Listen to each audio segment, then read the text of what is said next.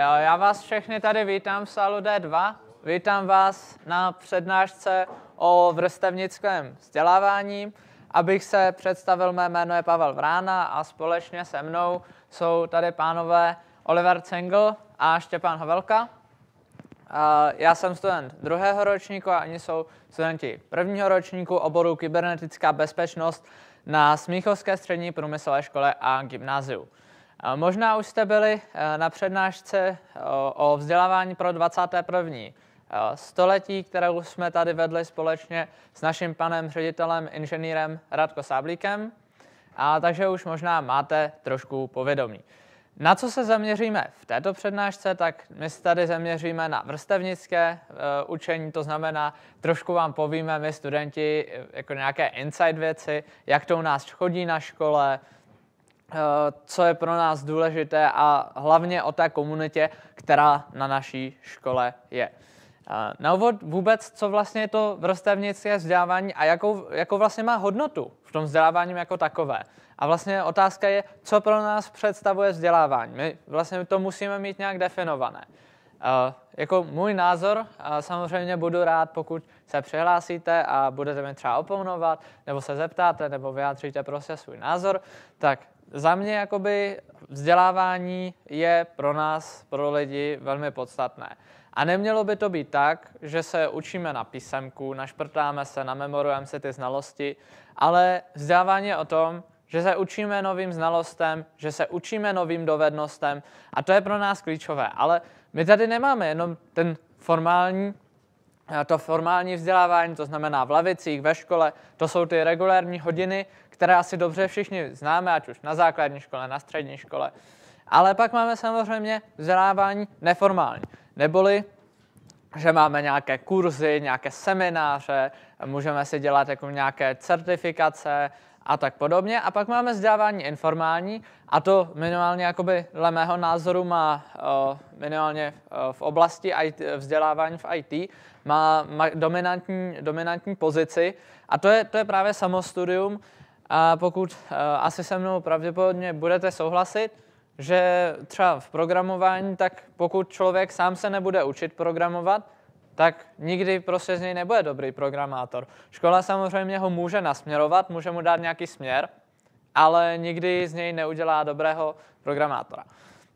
A, takže to je vlastně za mě, co se týče vzdělávání jako takového, tak pro mě e, je velmi podstatné nějaké samostudium, že člověk si najde na internetu nějaký tutoriál, nějakou dokumentaci a to si pročítá. Třeba teď poměrně nedávno jsem začal eh, s native Android developmentem a tam prostě max, to probíhá tak, že prostě uh, si otevřu nějaké kurzy na developer.android.com a učím se z toho. To je plně, plně samostudium. Tam vlastně uh, do toho, to prostě se učím sám, protože jsem se proto rozhodl, protože jsem chtěl si vyvíjet uh, mobilní aplikace a tak jsem se rozhodl, že se takhle sám budu vzdělávat. A za mě tohle to je vlastně naprosto dominantní část, co se týče vzdělávání v IT, protože ta škola dává nějaký směr v těch hodinách, ale nikdy nemůže vlastně vám ty, předat ty znalosti, které by se vám aktuálně hodily, protože IT je velmi ro, rozvětvený obor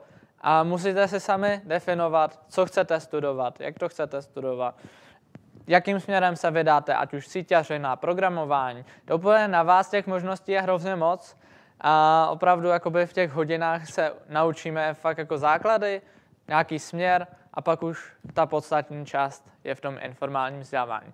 Nicméně teď k samotnému vrstevnickému vzdělávání, tak proč to má takovou, takovou hodnotu? Proč je to tak důležité?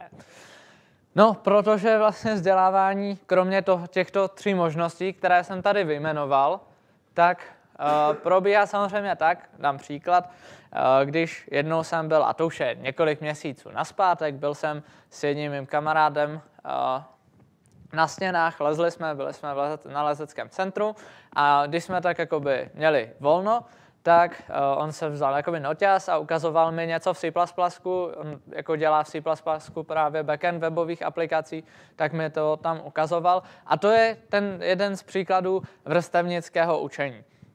A teď takový jakoby za mě takový můj příběh, co se týče té komunity, tak když jsem nastoupil na školu, tak jsem byl hrozně jakoby natěšený, viděl jsem tam, za mě zpočátku, když jsem nastoupil na naši školu, tak pro mě velmi podstatné byly ty možnosti, že halda projektů, podpora. A to je jako, je to hrozně podstatné, ale časem jsem si vlastně uvědomil, že na té škole je ještě lepší věc. A to je ta komunita. My jsme vlastně eh, v, v minulém roce, když jsem byl v prvním ročníku, tak jsme byli na kempu kybernetické bezpečnosti, kde vlastně jsme byli ze všech čtyř ročníků a to mělo obrovskou význam. To měl obrovský význam, jinak těch kempů takhle u nás na škole, ono se pořádá hrozně moc. On byl právě kemp kybernetické bezpečnosti, kemp k občanství, kde se právě třeba minulý rok vytvořili uh, ty dokumenty k, využívání AI a vlastně jakoby takový návrh na změnu uh, vzdělávacího systému, což jsme potom představili na ministerstvu, jak už říkal náš pan ředitel na první přednášce, uh, na té přednášce o vzdělávání pro 21. století. Pak Camp STEM, kde vlastně se vždycky řeší nějaké projekty, takže minulý rok to bylo zaměřené spíše na umělou inteligenci, letos to spíše bylo zaměřené vlastně eh, na nějaké projekty, které byly v rámci Czech IT Academy, což pokud byste nevěděli, nebyli jste třeba na té první přednášce, tak to je vlastně organizace, která vznikla na naší škole a spojuje jakoby firmy a studenty, ale nikoliv jako práce, ale v rámci jako projektu. To znamená, že když studenti mají projekt, tak eh, je vlastně Czech IT Academy spojí s tou firmou, anebo když firma má nějaký projekt a úplně třeba na to nemají prostředky, nebo není to pro ně tak podstatné, aby do toho třeba eh, investovali na to, aby si najmuli na to zaměstnance či tak, tak prostřednictvím Czech IT Academy uh, osloví studenty, jestli by na tomhle projektu nechtěli pracovat. Takže těch kempů je hrozně moc. A je to jedna z těch nejúžasnějších věcí, co na škole máme, protože se tam vlastně potkáváme lidi napříč obory, napříč ročníky. A to je velmi úžasná věc. No a abych pokračoval v příběhu, tak my jsme takhle byli na tom kempu kybernetické bezpečnosti.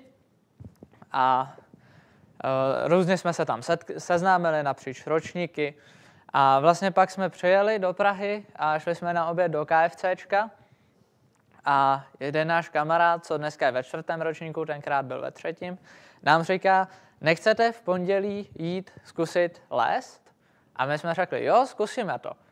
A tak jsme šli v pondělí lézt a za, zalíbilo se nám to natolik, že sportujeme intenzivně dvakrát až třikrát lezem, jako na lezeckém centru u nás v Praze, Smíchov.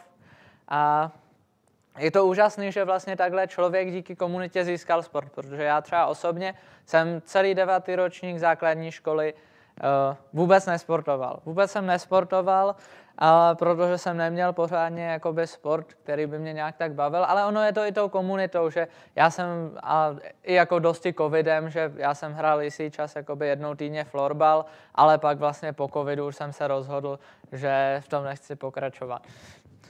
No a tohle je prostě jeden z příkladů, kdy vlastně lidé se navzájem inspirují takhle jako vrstevníci. Ono je to hrozně podstatné, že třeba člověk uh, může, může vnitřně jakoby toužit třeba s něčím začít.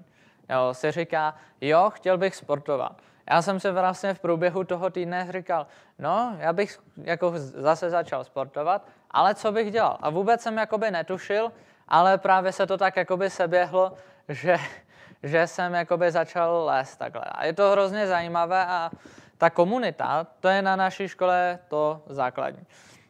A ta další věc vlastně, ty další věci my tam pořádáme třeba jednodenní kurzy pro, účastní, pro naše uchazeče, ale i vlastně to otevřené pro široké zájemce, takže jakoby častokrát, kromě jakoby našich uchazečů, tak nejčastěji se toho účastní jakoby student, uh, žáci osmého ročníku základních škol nebo ekvivalentních tříd víceletých gymnází, ale samozřejmě jakoby je to obč- eh, otevřené, takže občas tam zavítá třeba někdo je starší, někdo naopak mladší, záleží prostě na zájmu těch jednotlivých lidí. A jako je hrozně zajímavé, že my třeba tam učíme, jsme třeba, minulý rok jsme byli v prvním ročníku, tenhle rok jsme ve druhém ročníku a učíme třeba o rok, dva mladší, mladší vlastně kolegy, a tam je úplně cítit, jak oni nás respektují. A je to úplně neuvěřitelné. Jakoby, kdybych to na vlastní oči nezažil a neznal bych to, tak možná bych tomu ani nevěřil, protože když se na to podíváme, tak uh, vlastně celý ten den, celá ta akce je pod naší organizací a učíme tam ty lidi a oni prostě můžou se na cokoliv zeptat. A je to takové příjemné přátelské atmosféře, že my si vlastně s nimi i potykáme, protože uh, minimálně jako za mě je absurdní, aby, aby nám lidé o dva roky mladší vy, vykali, byť, uh, byť samozřejmě je to projevení úcty, tak za mě já mám radši jako tu komunitnější atmosféru, takže vždycky se s těmi lidmi potykám a je, je to fajn. Jakoby.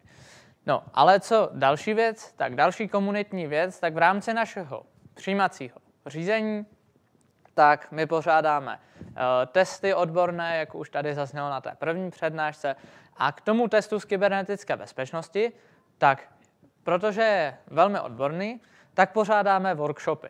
Online workshopy, takže my máme na platformě Discord zřízený server. A co je ještě jakoby pro mě třeba hezčí než jako pořádání těch samotných workshopů a předávání nějakých znalostí a dovedností, tak pro mě je podstatné se seznámit s těmi našimi uchazeči a ono se častokrát i na tom Discord serveru pozná, kdo je aktivní, kdo má zájem, jakoby komunikač, eh, komunikačně, že občas se tam někdo o něčem zmíní. A je to za mě jakoby hrozně dobré se s těmi lidmi seznámit, pak třeba uh, po přijímacím řízením, tak uh, ať už náš ročník nebo te, ročník tady mých kolegů, tak vždycky uh, se stane, že po přijímacím řízením, když už všichni znají ty výsledky, tak na tom komunitním Discord serveru si ty budoucí prváci jako se skupí a pošlou si vzájemně odkaz na svůj třídní Discord server. Což je jakoby úžasné, že oni už se poznávají někdy třeba v květnu, ale v červnu. Jo.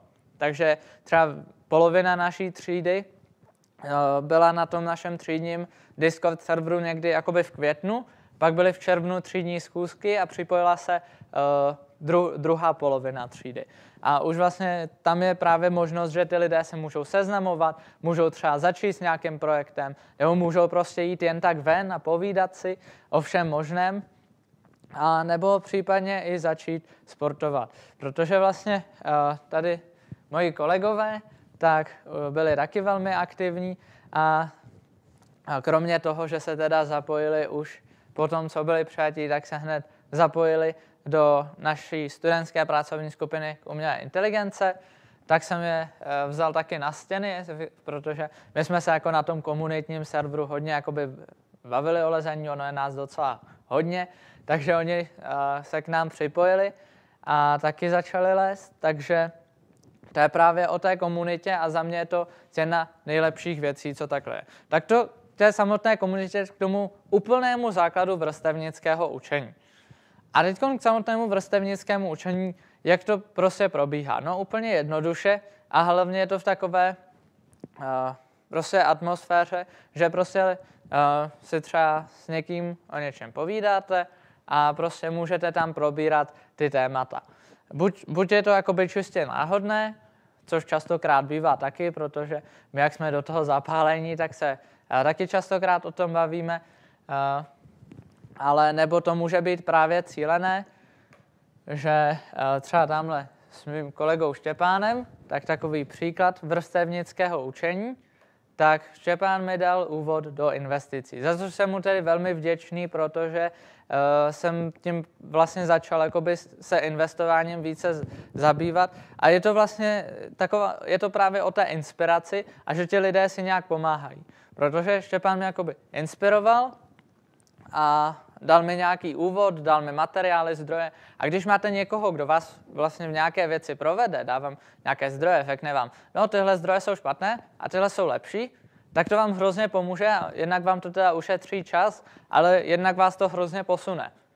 A to je prostě vel, za mě velmi eh, podstatné. A nyní bych předal slovo mým kolegům, kteří by nám něco třeba řekli k té uh, umělé inteligenci, taky řekli svůj pohled na vrstevnické vzdělávání. Tak, Olivera, máš slovo. Jo, tak uh, já bych teda něco řekl o té naší pracovní skupině AI Lab, což uh, vlastně tedy Pavel.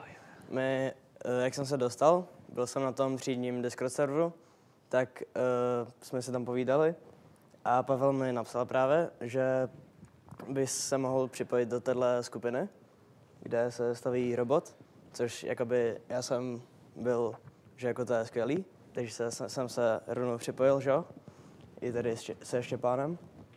A rovnou jsme jeli na kemp, kde jsme právě vyvíjeli plán pro toho robota. A uh, do teď už vlastně máme všechny součástky, takže začínáme se stavbou, dostali jsme i pracovní prostor, máme kancelář na něj. A takže to mi přijde jakože skvělý, že tady máme plno těchto těch projektů, do kterých se můžeme zapojovat. A tak no.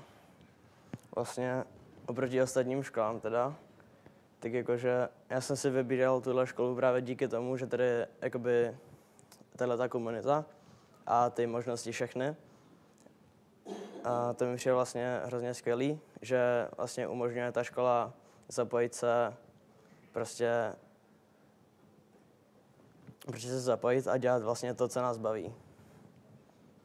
Takže tak, no. No a ono samozřejmě to nekončí jen u toho, že se vzděláváme my jako studenti navzájem. Ale když se podíváme na základní školy, tak na základních školách se častokrát učí ofisy, učí to tam častokrát nějaký učitel třeba tělocviku nebo, nebo občanky a má to takový jakoby doplněk a učí tam nějaké ofisy, což člověk stejně v životě nevyužije. Uh, protože existují, zaprvé existují jiné nástroje, jako třeba Eh, nástroje od Google, ať už dokumenty, prezentace, tabulky, anebo existuje LibreOffice, OpenOffice, takže uh, Open Document. Ono je toho fakt hodně a je zbytečné a je nesmysl, říkám to jakoby na, na rovinu, můj upřímný názor je nesmysl něco takového učit, protože to absolutně postrádá jakýkoliv smysl, stejně jako postrádá smysl uh, učení tolika informací, že si to lidé potom nepamatují. A to je výhoda vrstevnického vzdělávání, že my se jakoby vrstevníci vzděláváme uh, navzájem o těch tématech, co pro nás mají smysl. Ale každopádně na naší škole existuje projekt se jménem Studenti do škol a to spočívá v tom, že jakoby naši studenti jezdí na své bývalé základní školy, tam se dohodnou s ředitelem, s učitelem a učí na té základní škole informatiku. Uh, to častokrát bývá tak, že někdy ten učitel tam jenom sedí a dělá dozor, protože ten student jakoby nemůže nést zodpovědnost za ty žáky, že tam vždycky musí být nějaký učitel, anebo učí, učí jako v tandemu oba dva, že se doplňují navzájem, takže někdy učí ten náš student, někdy učí ten učitel a ten druhý vždycky uh, mu pomáhá. Takže to je hrozně úžasná věc a je to věc, co jako zlepšuje tu výuku informatiky. Protože ta, ta, ta doba se hrozně vyvíjí, ty technologie jsou všude kolem nás a začíná to být čím dál tím více důležité. Eh, pokud zůstaneme u toho, že budeme učit ofisy, no tak to nebude dobré, protože lidi potom ani nebudou jako vědět, co pořádně dělat na internetu, budou, naběhnou si na phishing, naběhnou si na nějaký malware a bude to pro ně velmi špatné. Takže i otázka kybernetické bezpečnosti je potřeba již na základních školách to probírat a to docela, jako bych řekl, i důkladněji, protože uh, někdo, dám příklad, bude si stáhnout třeba Uh, nějaké hacky na mobil, jakoby, jo, u, u, najde si tam nějaký odkaz na internetu, klikne si to, stáhne si to, no a bude mít malware v mobilním telefonu a to samozřejmě nebude dobrá, no. A stejně tak jakoby na počítači, že si tam někdo může stáhnout třeba jako adware, ten asi jakoby nejmenší problém z těch všech různých malwareů, takže uh, musíme prostě dávat důraz na to už na těch základních školách a proto je právě tenhle ten projekt eh, velmi dobrý v tom, eh, že vlastně pomáhá to těm školám. Samozřejmě ne každá škola o to má zájem, některé školy o to zájem nemají, některé, některé ano, záleží vždycky na tom řediteli nebo učiteli, protože některé školy jsou takové otevřenější, třeba jsou rádi, že se tam ty studenti vrací, a některé naopak nikoliv. Dám taky příklad, jeden můj spolužák, tak měl právě o, v devátém ročníku absolventskou práci na kyber, o, kybernetickou bezpečnost, nějaké druhy malwareu a tak. A vlastně, když skončil tu svou prezentaci, tak mu ředitelka školy nabídla, jestli nechce tam pracovat jako administrátor sítě. Oni teda jakoby Active Directory řeší u nich nějaká externí firma, ale na takový ty zprávy jako těch dalších zařízení a celkově jakoby i pro učitele, tak právě mu nabídla tu pracovní pozici, což je další příklad, že vlastně zapojení studentů takhle do té školy nemusí být v roli jen jakoby učitelů, třeba v rámci tohoto projektu, ale může být právě, že tam jsou na nějakou dohodu o provedení práce, jako třeba správce sítě, nebo tam uh, můžou právě učit, jakoby, že to ani nemusí být v rámci tohoto projektu.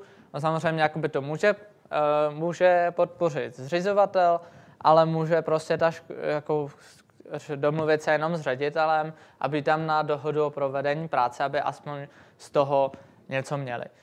Tak to je jen takový uh, další příklad vrstevnického učení a celkově, co takhle existuje. A jako, já bych uvedl ještě další příklad, co takhle máme. Když jsme právě měli minulý rok ten uchazečský Discord server, tak tam byl jeden člověk v osmém ročníku základní školy tenkrát. On je z Hodonína, takže poměrně, no, poměrně nedaleko odsud. A on právě se hrozně moc už věnuje kybernetické bezpečnosti a věnuje se tomu natolik, že vlastně eh, my jsme se s ním jako tak bavili a jak existují různé CTF soutěže, my děláme jakoby hlavně Jeopardy style, kdy máte jakoby nějaké úlohy a ty plníte, občas uděláme i attack and defense, kdy máte vlastně svou infrastrukturu, kterou bráníte a napadáte infrastruktury ostatních týmů, tak tenhle ten člověk, který momentálně je v devátém třídě a bude se teď tenhle rok hlásit na naši školu, tak už s námi studenty právě uh, soutěží v rámci těchto CTF soutěží. Což je jakoby úžasný, že někdo na základce se prostě tomu věnuje sám ve svém volném času natolik, že prostě už je na úrovni třeba druhého, třetího ročníku, možná ještě víc. A tady přesně tady vzrůstá ta otázka, jak vlastně koncipovat to vzdělání celkově. Protože jestliže se tady podíváme, že někdo na základce ve svém volném času je lepší než někdo ve formálním vzdělávání, tak pak nám tady logicky vzniká rovnice, eh, že samostudium a vrstevnické vzdělávání je daleko efektivnější než klasická školní výuka. A i na to jakoby my dáváme na naší škole důraz. Je to pro nás velmi podstatné a je to, je to prostě daleko podstatné. Tak ještě Štěpán by nám mohl říct něco, uh, jeho postoj vrstevnickému vzdělávání a celkově, jak se dostal takhle k naší škole. A... Uh, no, tak já si myslím, že jakože vrstevnické vzdělávání je celkově docela dost fajn věc, protože 99% aktivit, které, které jsme použili pro to, aby jsme se dostali na tuhle školu, tak jsme se naučili sami na základkách, nebo jsme se to učili od někoho, uh, například pomocí YouTube videí a tak, takže si myslím, že komunikace se spolužáky a učení se jakoby navzájem je jakoby dost fajn a dokáže to usnadnit docela dost věcí. A zároveň, uh, jak jsem se dostal k téhle škole, tak uh, já jsem, si vybír, já jsem se rozhodoval mezi technikama různýma a líbila se mi tato škola. Zároveň mě hodně jakoby prostě nadchnulo, nadchnul, nadchnula přednáška pana ředitele na dnech otevřených dveří. Uh, takže potom jsem měl jakoby jasno, podával jsem se obě dvě přihlášky a nějak tak jsem se semka dostal, no, takže, takže asi tak. No. A co se týče jakoby vrstevnického vzdělávání, ještě jako mimo něj, tak pro, uh, uh, hrozně jako podstatné je jakoby mimoškolní aktivity, třeba účast na nějakých akcích, konferencích, že jakoby u nás na kybernetické bezpečnosti třeba spousta lidí chodí jako na Linux Days, Install Fest a tak podobně, různé akce, co se vlastně pořádají. A uh, buď jakoby buď člověk se tomu sám nějak věnuje, nebo i více lidí zakládají se různé projekty. A realita je taková, že spousta lidí se něčemu věnuje, někdo si najde třeba práci, někdo dělá na nějakých svých projektech, někdo třeba je velmi dobrý v kybernetické bezpečnosti, že je v národním týmu. To je příklad mého spolužáka taky, který vlastně už ve druhém ročníku, on teda v prvním ročníku se tam ještě dostal, teď je ve druhém společně se mnou, tak už je v národním týmu pro kybernetickou bezpečnost a teď posledně nedávno byli v Norsku na ESCS, vlastně Evropské mistrovství v kybernetické bezpečnosti. Takže a ten se to taky naučil úplně sám. Taky vlastně samostudiem.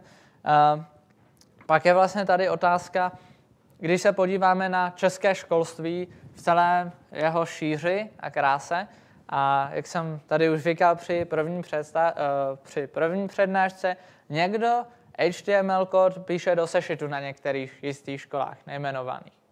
CSS taky, PHP taky píšou do sešitu.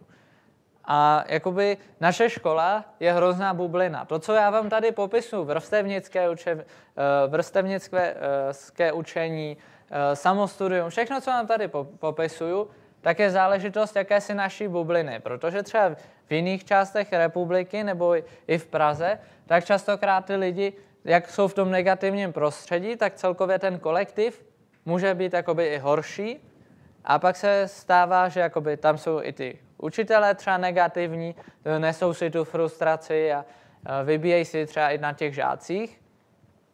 A pak i ta kvalita výuky je špatná, tak vlastně tam pořádně žádné vrstevnické učení, ani to samostudium pořádně jako není. Protože pokud vysloveně ten člověk není silná osobnost, co jde za svými cíly, tak to negativní prostředí ho jakoby tak trošku začne deprimovat a pak jakoby už ani neprojeví v některých případech tu aktivitu, protože vlastně ta negativní energie z jeho okolí, tak se dostane do něj. A nese si v sobě tu negativní energii a pak buď třeba i potká nějaké jako další dobré lidi, a nebo bude v tom negativním prostředí a bude z toho i třeba zoufalý nebo něco takového. A to se může stát prostě. A bohužel je, eh, jako děje se to bohužel, že ne všude existuje taková úžasná komunita, jako třeba u nás na škole. A jakoby v některé, jako na jiných školách třeba, tak první rovina je, že samotná formální výuka je totálně špatná. Jako s proměnutím za mě, kdo píše HTML do sešitu, do papírového sešitu, nebo ještě CSS, to je ještě horší, protože když, jako, jak vůbec co můžete usoudit, jak ta stránka bude vypadat. To je prostě úplně katastrofální. Jakoby fakt nechápu, jak takhle někdo může vyučovat. Bohužel tak se to děje. Ale to je jenom jeden problém. S druhým problémem může být šikana, může to být celkově ta negativní energie v tom kolektivu, může tam spousta lidí, tak ani nemusí mít žádné ambice a takzvaně lidově můžou kouřit trávu, uh, trávu za školou a pak to, pak to jakoby nebude vůbec dobré a vlastně ty lidé nemají žádné cíle a pak celkově ta komunita vlastně v okolí těch lidí je taková negativně naladěná. Tak to jsou jenom naše postřehy eh, k vrstevnickému učení, k nějaké komunitě i u nás na škole, jo, třeba i porovnáním takhle eh, se zbytkem republiky podle nějakých by, informací třeba, co jsme tak postřehli od pár lidí a tak. A nyní bychom už pomaly dali čas na dotazy, takže kdo se chcete nás na něco zeptat, čemukoliv, co se týče vzdělávání, jo, třeba o naší škole, nebo nějaké téma další můžeme nakousnout a povídat si o něm, tak nyní je tady ten prostor.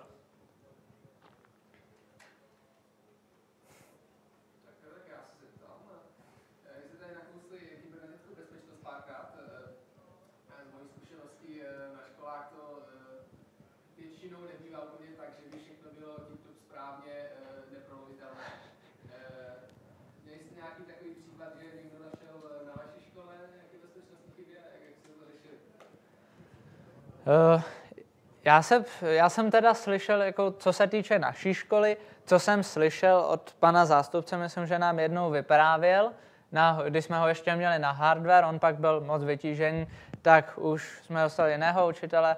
A on nám právě jednou vyprávěl, že jeden student za ním jednou přišel a byl takový velmi jako smutný, skoro brečel a podobně. A tak se ho ptá, co se stalo? A on mu skoro jako s brekem řekl, já jsem tady prolomil školní síť. Stal se z něho zaměstnanec IT oddělení. Takže třeba takhle, takhle u nás jakoby jsme to řešili, protože na naší škole hodně my studenti jsme zapojováni a v současné době je celé naše IT odděleno tvořeno studenty. Je tam vlastně manažer z třetího ročníku, který má dva zástupce, jednoho ze třetího ročníku, druhého z druhého ročníku a ty zástupci jeden dělá sítě, druhý servery, pak jsou tam nějací další studenti, kteří třeba se starají jakoby o, o počítače, nějaké instalace softwaru a podobně. Takže to je třeba takhle náš bezpečnostní problém, jinak takhle nevím, že bychom něco měli. Uh, vím, že vlastně jeden člověk na právě pomocí jednoho nástroje to zkoušel, jako jestli tam něco není, a nic tam takhle jakoby nebylo. Ale samozřejmě jiné školy tak to zabezpečení už tak dobré nemají. No. Tak taky jsem jako vyslyšel o jedné věci, kde prostě uh, to je trošku zranitelné, třeba školní servery a tak. Ano?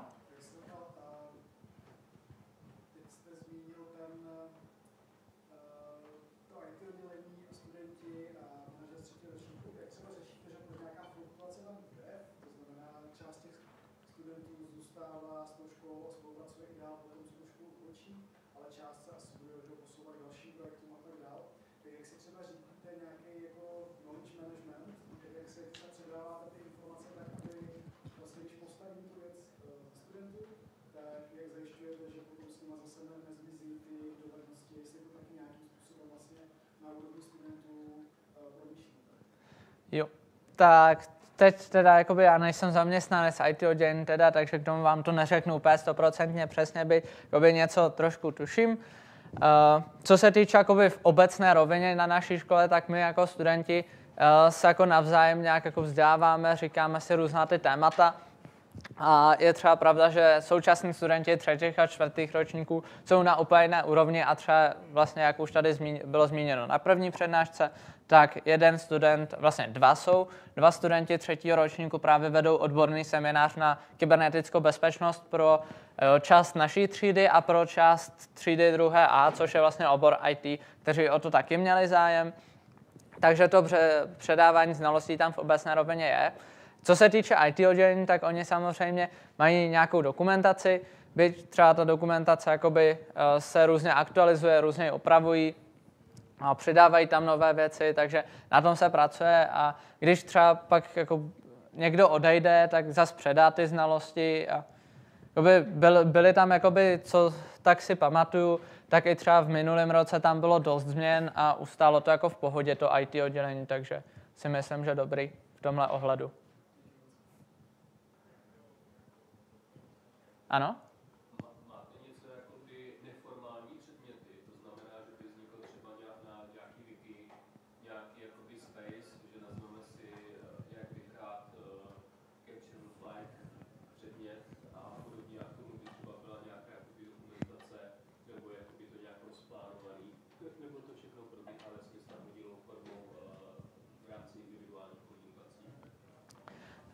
co se týče jakoby neformálního vzdávání jako nějakých kursů a přednášek, myslím, že občas, občas se tam něco jakoby odehrává na naší škole.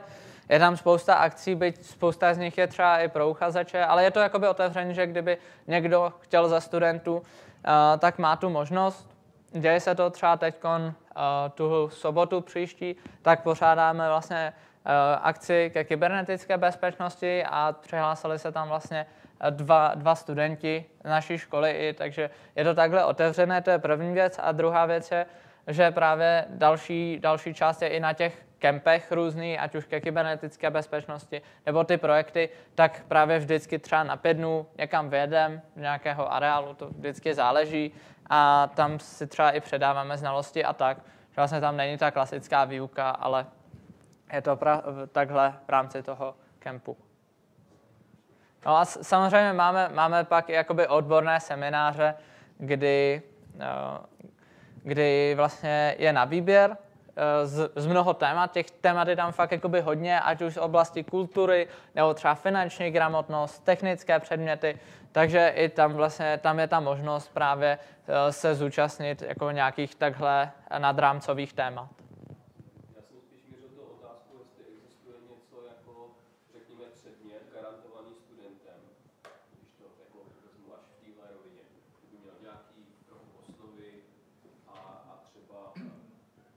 Jo, to je právě třeba ten seminář s kybernetickou bezpečností, jak jsem říkal. No. Tak tam právě už ty učitelé kybernetické bezpečnosti byli takový vytížení, tak to vzali právě studenti třetího ročníku, kteří byli, jakoby, mají hodně znalostí a dovedností, fakt jakoby velmi hodně. A tak si právě udělali osnovy na to, jako nad rámec ještě, taková jakoby více advanced kybernetická bezpečnost a je to právě takhle ten odborný seminář. Plus jako spousta absolventů tam taky právě mývá ty odborné semináře a různě, různě i ty volitelné odborné předměty, takže třeba tenhle rok tuším, že tam bylo pět absolventů, co si, no možná ještě víc, já netuším takhle, kolik jich přesně bylo a vím, že jich bylo hodně, kteří právě takhle uh, buď začali učit odborný seminář, nebo nějací absolventi začali učit i programování, takže, takže i takhle hodně těch absolventů tam zůstává. Ano?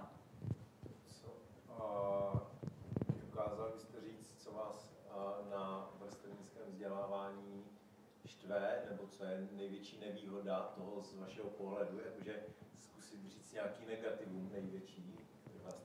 Největší negativum, to je, to je zajímavá otázka, jestli, já jsem takhle by, já osobně na tom vidím spíše pozitiva, ale to v kombinaci, to v kombinaci jakoby se, se, se ale otázka je nějaká negativa. Tak negativum tam může být, že taky ten vrstevník nemusí mít vždy, tak samozřejmě tak jako podobně i učitel nemusí mít správné informace, tak ten vrstevník nemusí mít správné informace a může tam třeba dojít k nějaké nepravé informaci samozřejmě, ale všechno se jakoby dá ověřit, takže většinou takhle třeba i ověřujeme si informace navzájem a tak. Takže to může být jedno negativum a druhé negativum samozřejmě být, že my máme jakoby různé, uh, různou uh, úroveň znalostí, ale z různých oblastí. Že? Třeba tady moji kolegové se spíše zabývají umělou inteligencí, což já zase spíše, jako zabýval jsem se jí spíš po stránce nějakého využití, ale jako neprogramoval jsem nikdy umělou inteligenci,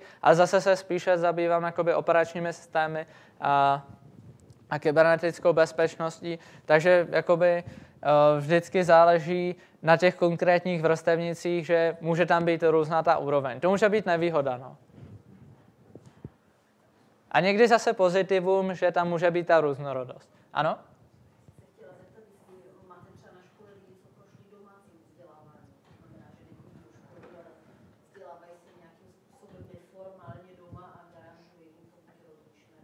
No, přemýšlím, myslím, jakoby asi osobně někoho takového neznám. Nevím, jestli, pane řediteli, znáte někoho? Jo, tak uh, pár, pár, lidí, pár lidí na naší škole je takových. Promluví pan ředitel, ten má více informací. Já na to odpovím, že tam jsou případy, kdy eh, třeba byli eh, s rodinou v Německu a, studoval a vlastně jenom přijel na nějaké zkoušky nebo online, nebo byl sportovec, který byl na, na Jindřichové Hradci a zároveň studoval u nás. Takže takových pár případů, pár případů tam bylo.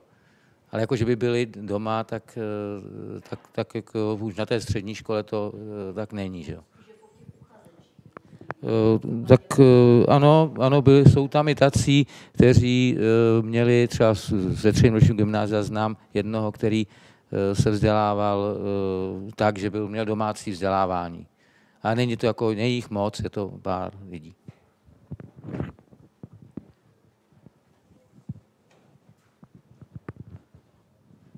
Tak, ještě má někdo nějaké dotazy? Jo, to už jsem tady vlastně zmiňoval, že my pořádáme na naší škole jak teda jednodenní kurzy v průběhu roku, tak pořádáme ale i letní školy. Tenhle rok jich tam bylo zhruba deset těch letních škol na různá témata. Byla tam letní škola umělé inteligence, dvě letní školy na kybernetickou bezpečnost, letní škola na robotiku. Co tam pak ještě bylo? Prosím? Jo, mediální tvorba tam byla, to tam ještě takhle byl. 3D tisk tam byl, počítačové hry, ještě něco tam bylo. Už asi takhle všechno, bylo jich tam celkem zhruba 9, 10, nějak tak, takže, takže to taky jakoby uh, bylo, některé ty letní školy pořádali i absolventi, některé pořádali teda studenti. To je k letním školám. Ještě někdo nějaké dotazy? Ano? Zkoušeli jste něco jako dělat něco jako startupy, když to řeknu, na úrovni vlastně střední školy? No tak my vlastně při naší škole máme coworkingové centrum, jehož součástí jsou tři části. První část je Event Space, tam se konají různé přednášky, konference. Byla tam vlastně i debata prezidentských kandidátů před prezidentskými volbami. To pořádala iniciativa Zavolíme společně ve spolupráci s naší školou. Eh, pak vlastně i tam pan prezident se potom vrátil a měl tam společně s jeho chotí rozhovor. Eh, taky to bylo, to bylo taky pořádáno ve spolupráci s iniciativou Zavolíme, co vlastně z Plzně tuším, různě studenti vysokoškolští. A tak to je první část. Druhá část je uh, Makerspace, to jsou, tam jsou jakoby i dílny a různě tam lidé bastlí, jsou tam nějaké řezačky, CNCčka, takže když chce někdo jakoby uh, vyrobit nějaký výrobek, tak, nebo nějaký produkt, tak tam má k tomu možnosti. A třetí částí je právě inkubátor startupů, jsou vlastně i kanceláře, uh, Praha to podporuje, takže Praha podporuje ty startupy, že jim, podporu, eh, že jim dává to zázemí při naší škole, že jim dává jakoby takhle i materiální zajištění. Takže ty startupy, máme jich tam fakt hodně, eh, různě absolventi založili různé startupy, nebo i studenti, kdy vlastně třeba Petr Štěpánek, což je právě jakoby eh, takový duševní, duševní otec toho coworkingového centra, tak už třeba ve druhém nebo třetím ročníku Eh, založ, jakoby zakládal startup na longboardy a vlastně jel i do, do Číny tenkrát právě vyjednávat, vyjednávat součástky. A tuším, že se i splnoletnil. Je tomu skutku tak, splnoletnil se a takže, a, takže tady, tady můj kolega se taky plánuje splnoletnit a založit biznis. A, takže ano, ty startupy jsou takhle při škole a, podporované. Ano?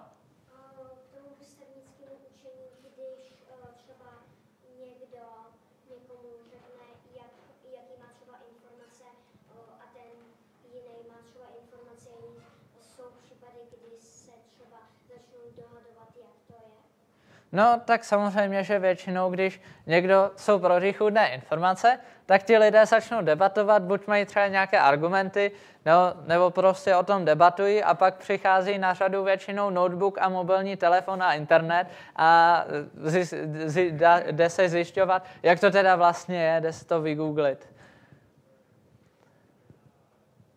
Ještě nějaké otázky? Jo, poslední dotaz. Tak jestli není žádný dotaz, ano? Ten předchozí dotaz byl na chování, ve kterých situacích jsem minul, minul ten začátek.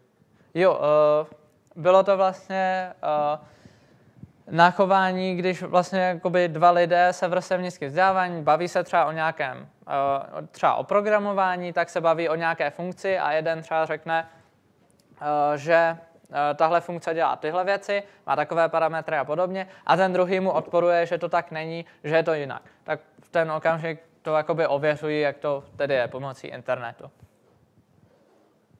Tak, tak, já bych vám poděkoval za vaši účast. Doufám, že to pro vás bylo zajímavé, že jste zas načerpali něco nového, protože vrstevnické vzdělávání je takové neobvyklé. A rád bych vám popřál Eh, příjemný zbytek dne a ať se ještě zbytek konference užijete.